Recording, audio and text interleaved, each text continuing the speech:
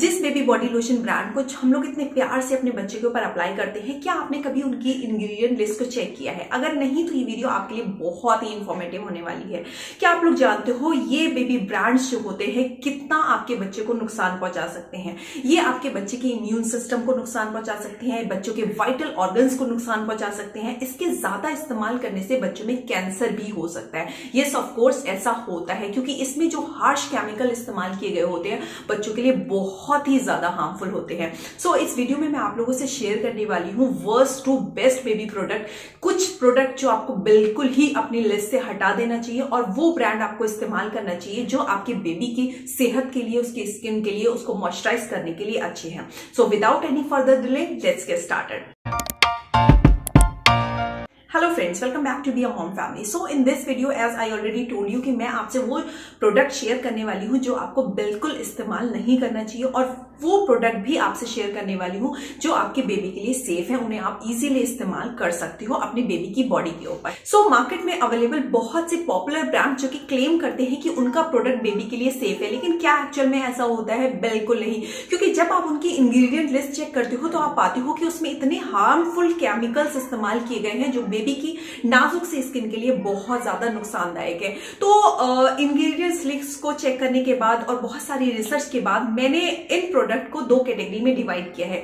दूसरी कैटेगरी में वो ब्रांड है जिनको आपको बिल्कुल भी इस्तेमाल नहीं करना चाहिए और पहली कैटेगरी में वो आते हैं जो आपके बेबी की स्किन के लिए सेफ़ है और उनको मॉइस्चराइज रखने के लिए बहुत ही अच्छे हैं। तो आइए सबसे पहले हम लोग बात करते हैं वो ब्रांड्स की जो कि कैटेगरी टू में फॉल करते हैं और जो बच्चों के लिए बहुत हार्मफुल है। इसे इस्तेमाल करने से पहले आपको वाकई बहुत बार सोचना होगा। सो so, इसमें फॉल करते हैं वो है Aveeno baby lotion Chicco baby lotion Johnson baby lotion Sebamed baby lotion yes of course Sebamed baby Dove moisturizing lotion Mee Mee soft baby lotion Mothercare baby lotion Himalaya body lotion जब आप इनकी ingredients list को check करोगे तो आप वाकई shock हो जाओगे कि इसमें इतने हार्श केमिकल हैं जो कि आपके बेबी की स्किन के लिए कितने ज़्यादा नुकसानदायक है। इसमें मिनरल ऑयल का इस्तेमाल किया गया है, इसमें डीएम डीएम का इस्तेमाल किया गया है, इसमें PEG EDTA disodium hydantoin perfume alcohol dimethicone phenoxy ethanol artificial colour harmful preservative जो कि बहुत ज़्यादा हार्मफुल है और उसके साथ में इसमें टॉक्सिक इंग्रेडिएंट का इस्तेमाल किया गया है। ये ज़्यादा इस्तेमाल करने से बच्चों के एंडोक्राइन सिस्टम को नुकसान पहुँचा सकते हैं, उसके साथ साथ बच्चों को कैंसर भी हो सकता है। ये ऑफ़ कोर्स ऐसा हो सकता है। आइए कुछ ब्रांड की हम लोग रिसर्च करते हैं उनकी इंग्रेडिएंट्स लिस्ट को चेक करते हैं। तो सबसे पहले मैं बात करूँगी सेबामेट की, जो भी बहुत ज़्यादा पॉपुलर है।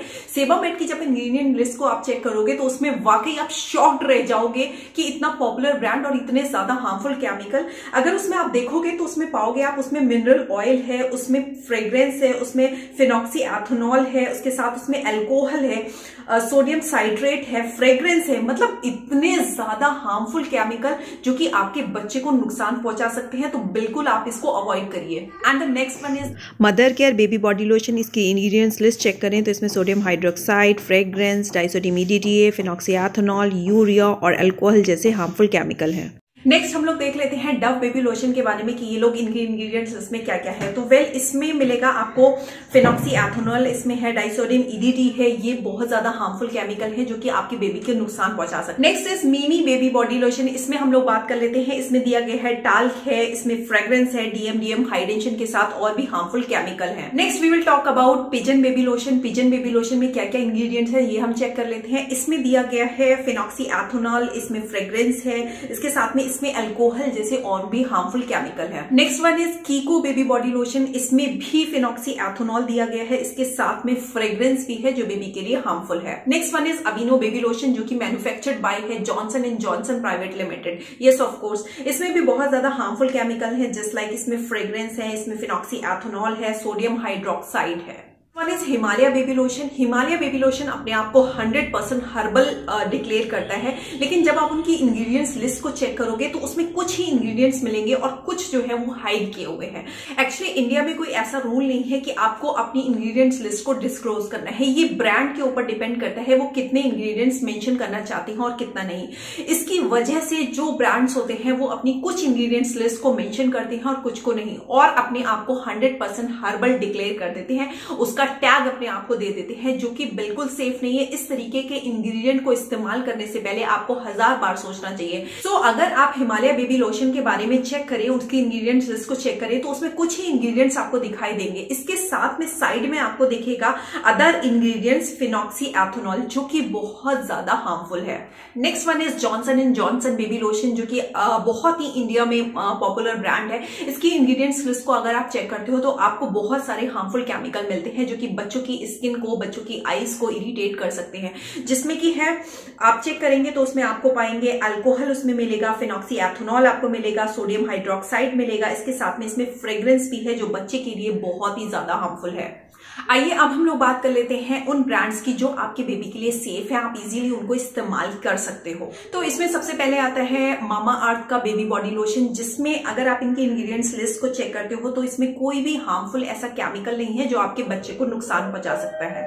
And the next one is the Mom Co natural baby lotion इसमें जो भी इंग्रेडिएंट का इस्तेमाल किया गया है, वो बिल्कुल नेचुरल है। इसे इजीली और आप अपने बच्चे को इस्तेमाल कर सकते हो, ये आपकी बेबी के लिए परफेक्टली सेफ़ है। And the next one is Lotus baby lotion Lotus baby lotion की इंग्रीडियंट्स को अगर आप चेक करते हो तो उसमें भी कोई आपको ऐसा हार्मफुल केमिकल नहीं मिलेगा जो आपके बच्चे के ऊपर नुकसानदायक हो। सो so इजीली आप इसको इस्तेमाल कर सकते हो। And the next one is rustic art का एलो एलमंड बेबी लोशन ये आपके बच्चे के लिए परफेक्टली सेफ़ है। इसे आप इजिली अपने बच्चे के ऊपर अप्लाई कर सकते हो। इसमें जो भी इंग्रीडियंट का इस्तेमाल किया गया है, वो बिल्कुल नेचुरल है। इसमें कोई भी हार्मफुल केमिकल आपको नहीं मिलेगा। सो so इजिली इस जो कैटेगरी वन के प्रोडक्ट है, इनको आप अपने बेबी के ऊपर इजिली अप्लाई कर सकते हो, ये आपके बेबी के लिए सेफ़ है, इनसे कोई भी हार्म आपके बच्चे को नहीं होने वाला है। इसके साथ में सबसे इंपॉर्टेंट चीज़ जो मैं आपसे कहना चाहूँगी कि जो भी नेचुरल ऑयल है, उनको आप इस्तेमाल कीजिए जस्ट लाइक आप कोकोनट ऑयल अप्लाई कर सकते हो, आप ऑलिव ऑयल इस्तेमाल कर सकते हो मस्टर्ड ऑयल यानी कि सरसों का तेल भी अपने बच्चे के ऊपर मॉइस्चराइजर के लिए इस्तेमाल कर सकते हो। नहाने के बाद बच्चे के ऊपर ये ऑयल लगाइए, ये आपके बच्चे को कोई भी नुकसान नहीं पहुंचाते हैं, क्योंकि इसमें कोई भी प्रिजर्वेटिव कोई भी केमिकल कोई भी इस तरीके के इंग्रेडिएंट्स नहीं होते हैं जो कि आपके बच्चे के लिए हानिकारक हो। इस वीडियो में जो भी ब्रांड्स मैंने आपको दिखाए हैं उसके लिए मुझे किसी भी कंपनी ने कोई भी पेमेंट नहीं किया है। मैंने जो है इंग्रेडिएंट्स लिस्ट को चेक किया है उसके बाद ही अपना ओपिनियन दिया है कि कौन से ब्रांड इस्तेमाल करना चाहिए कौन से बिल्कुल नहीं करना चाहिए। और वो ब्रांड तो बिल्कुल नहीं इस्तेमाल करना चाहिए जिस ब्रांड ने अपनी जो लिस्ट है इंग्रेडिएंट लिस्ट उसको ओपन नहीं किया है। Friends it's all for this video I hope ये वीडियो आपके लिए इन्फॉर्मेटिव रही होगी। अगर रही हो तो प्लीज़ लाइक किए बिना बिल्कुल भी मत जाइएगा। Thanks for watching the Amom channel bye bye